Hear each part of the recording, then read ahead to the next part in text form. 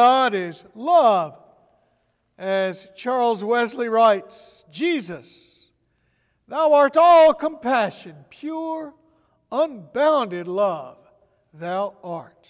Amen.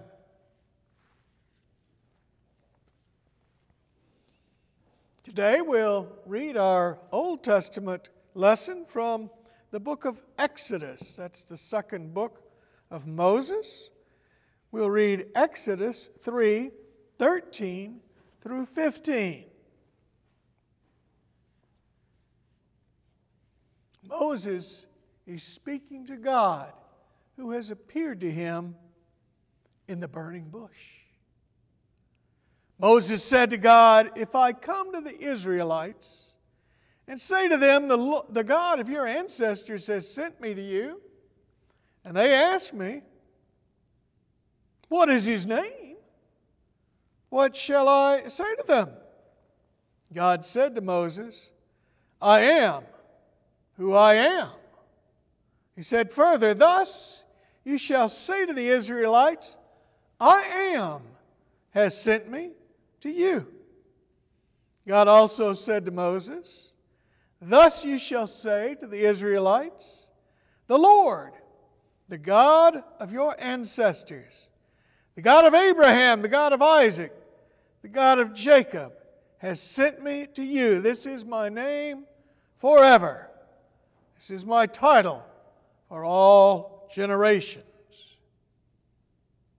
A quick comment in the Bible, we do not find the word Yahweh listed because the Hebrews believed it was inappropriate to speak the name of God. So instead, they always wrote the Lord. The Lord. Y H W H. Yahweh. This is my name forever. I am. Now we turn to the Gospel of John, which we will be reading this year. We're going to read John chapter 8, verse 58. Jesus said to them, Very truly I tell you, before Abraham was, I am.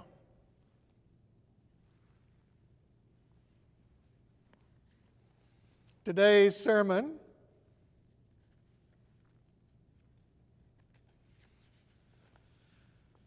is titled A Message from St. John. And indeed, St. John has come to us to speak. So here he is.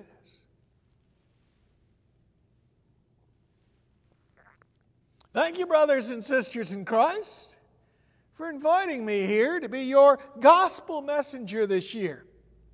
It is now 2022. Lord, think of that.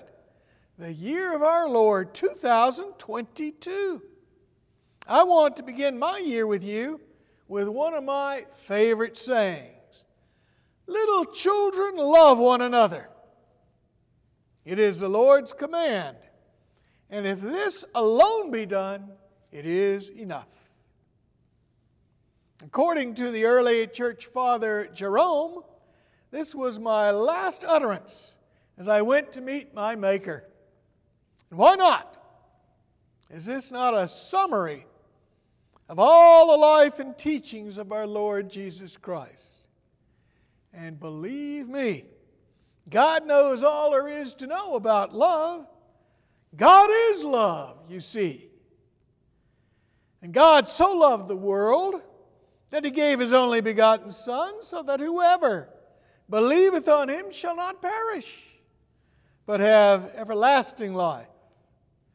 This, John 3:16, is the heart of the gospel. So good morning to you all. I'm a disciple of Jesus Christ, a disciple who loves Jesus Christ and is indeed loved by Him. My followers honor me by calling me the beloved disciple. I'm the witness whose testimony is the basis for the fourth gospel, the book you know as the Gospel according to St. John. Since the earliest days of the church, you see, I've been identified as the Apostle John, one of the twelve sent by Jesus to proclaim the good news to the world. I'm the son of Zebedee and Salome, the brother of the Apostle James, and I will be your guide to Jesus Christ this liturgical year. Now I realize, and I want you to realize, that I was there. I was there, brothers and sisters. I was there. I saw Jesus with my own eyes. I heard Jesus with my own ears. I shared his joys and his sorrows. I was there, and my testimony is the truth. We were mending our nets, you see, my brother James and I, and our partners, Simon Peter and Andrew, when Jesus called us to become fishers of men. We dropped our nets and followed him. And we've followed him faithfully ever since to our graves and beyond. I was there in Galilee when Jesus taught the crowds, when he performed miracles of healing and exorcism. I was there when he fed the hungry multitudes. I was there when he forgave sinners. I was there when he showed us the way. I was there when Jesus was transfigured on the mountaintop. Now, I was there on the road with him to Jerusalem. I was there on Palm Sunday, and I was there when he cleansed the temple. And yes, yes, I was there in the upper room, reclining beside him when he served us the Lord's Supper. I was there in the Garden of Gethsemane.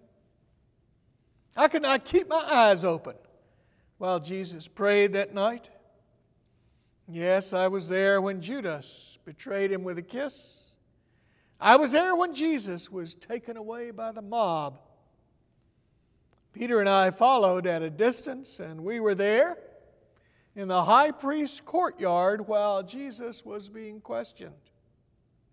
I was there at the foot of the cross when Jesus was crucified and it was to me that he entrusted his own mother's care. Oh, yes, I was there in the upper room on the joyous third day when the women burst in telling us that the stone had been rolled away and the tomb was empty. Peter and I ran to see the empty tomb with our own eyes. I was there when the risen Christ came to us in the upper room as we hid in fear. I was there when Thomas doubted.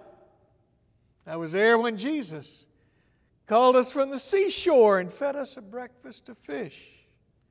My testimony is true. I was there when our Savior ascended into heaven, and I was there at Pentecost when the Holy Spirit came down on us. I was there, I saw, I heard. My testimony is true. I do not lie.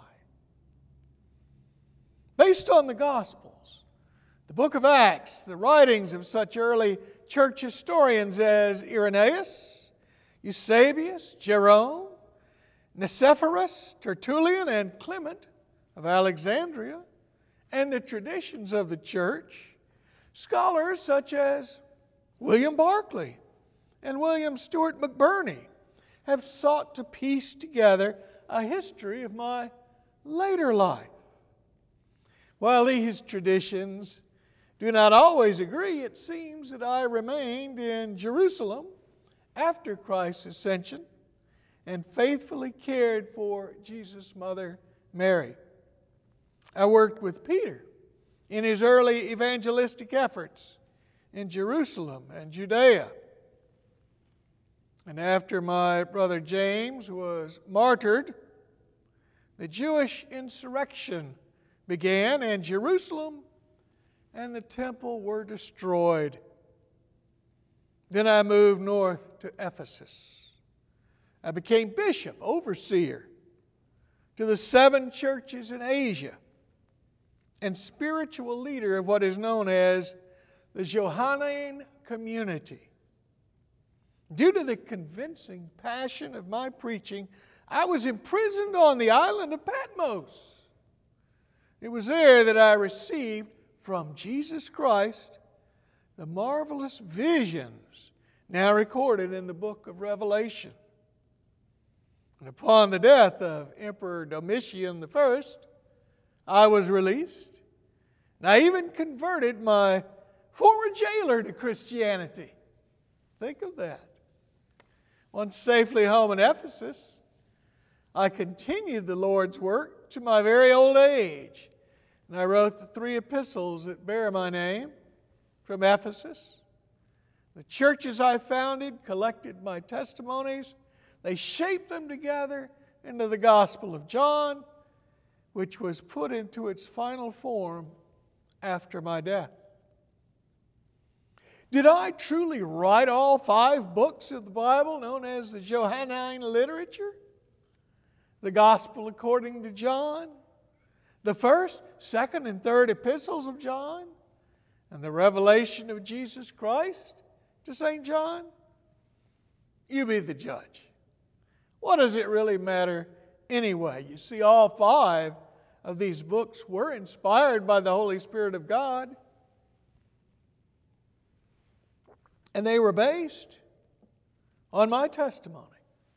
And all five have apostolic authority. All five are accepted by the church as Holy Scripture, the rule of faith and life. You may ask, why did I write my gospel? Well, you need look no further than John 20, 31 for the answer to that question. So that you may come to believe in Jesus Christ, and that through believing you might have life in His name. You see, Jesus Christ is the Son of God. Jesus Christ is the Savior of humankind. Jesus died on the cross to reconcile us with God. Jesus Christ rose again on the third day. He ascended to heaven, and even now, even now, in 2022, Jesus Christ sits the right hand of God the Father Almighty.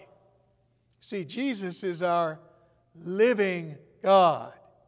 Even now, He lives in community with us, guiding us through the Paraclete, the Holy Spirit. I begin my gospel by reminding us that Jesus is the Word of God.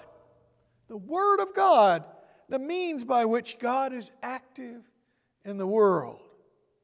The Word was with God, and the Word was God at the creation and before, and He, even now, is God, and forever He will be God. Jesus is the Word made flesh who came to dwell with us and show us the way. There are lots of stories about Jesus, not all of which appear in my gospel. My followers, in their appendix to my testimony, which you'll read as chapter 21, wrote these words If every one of the things that Jesus did were written down, the world itself could not contain the books that would be written. Matthew, Mark, and Luke did a fine job of collecting many of these stories and preserving them in their own gospel writings. My gospel is not always parallel to theirs.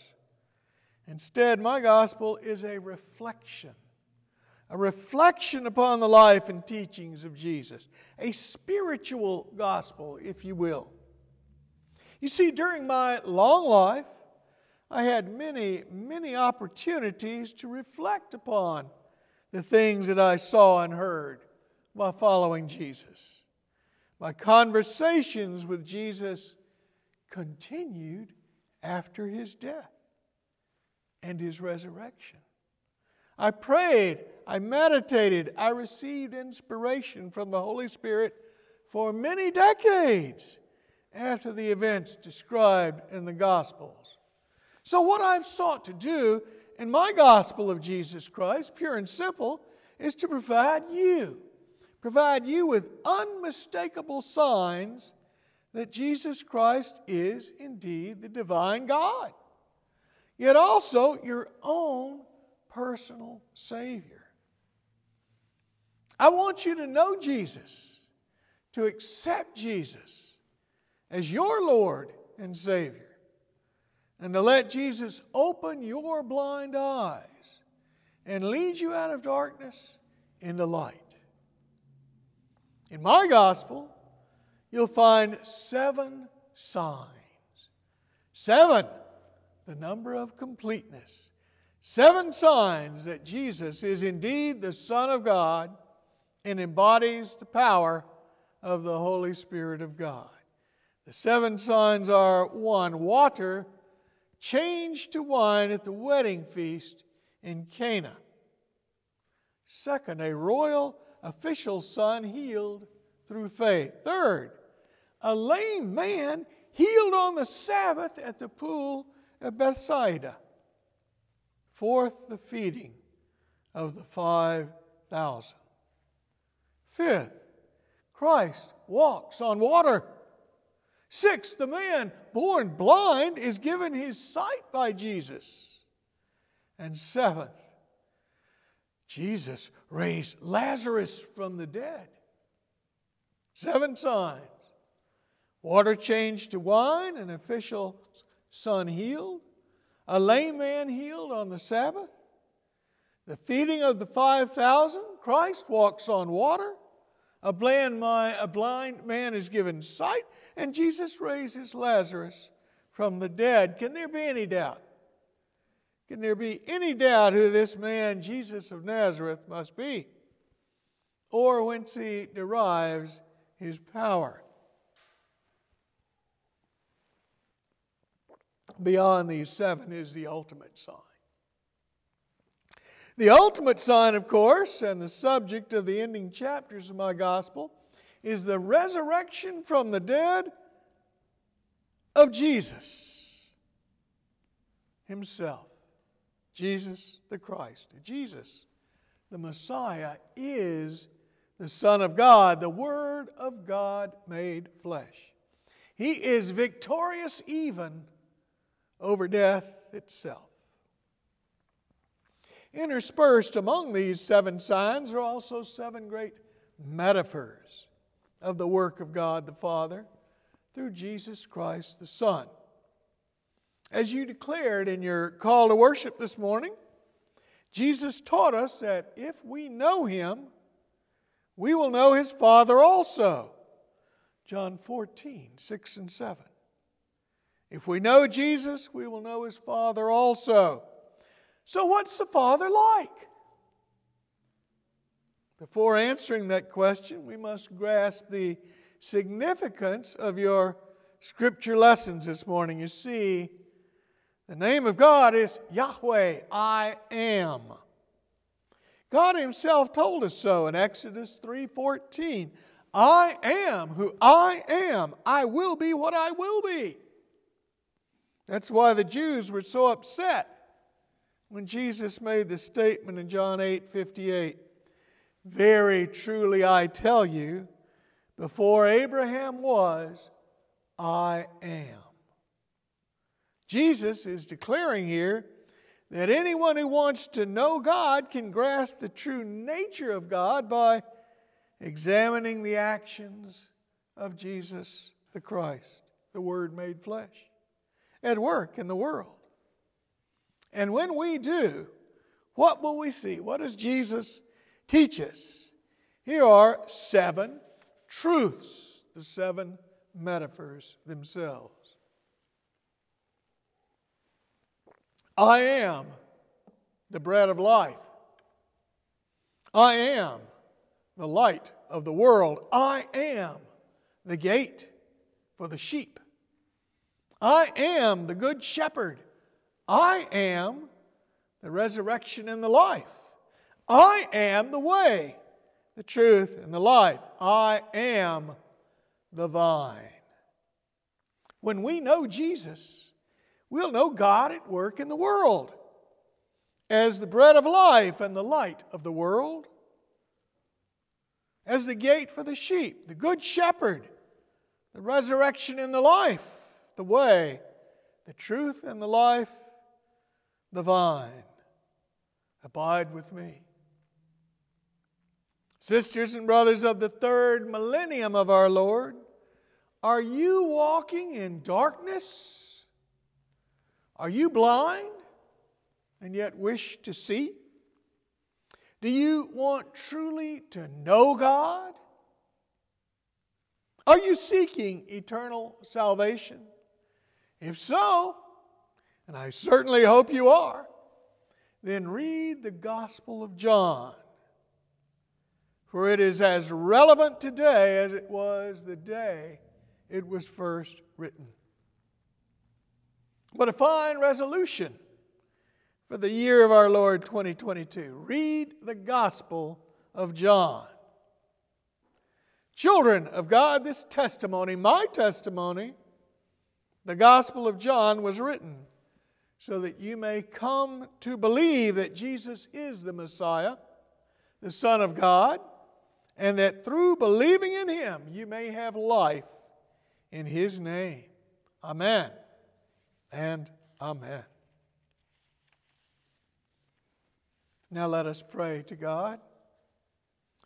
Almighty and ever living, ever loving God, your Son, Jesus Christ, healed the sick, restored them to wholeness of life. Shalom. He opened the eyes of the blind so that they may see, and He showed us the way from darkness into light. Look with compassion on the anguish of the world by your power, make whole all peoples and nations. Open our eyes that we may see. This we ask through Jesus Christ our Lord, who lives and reigns with you and the Holy Spirit, one God, now and forever. Amen. The grace of the Lord Jesus, the love of God, the communion of the Holy Spirit be with you all both now and forevermore. Alleluia. Amen.